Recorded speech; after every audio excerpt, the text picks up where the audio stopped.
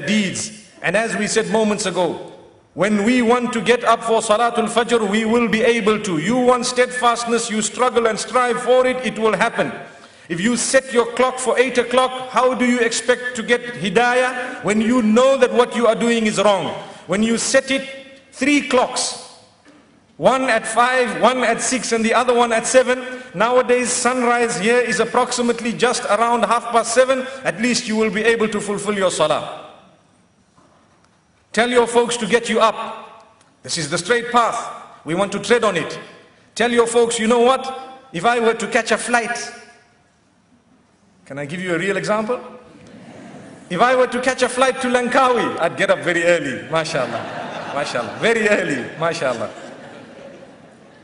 But I might be catching my flight to the life after death at the same time. And I haven't got up. May Allah protect us. Do you see? Is it not a reality?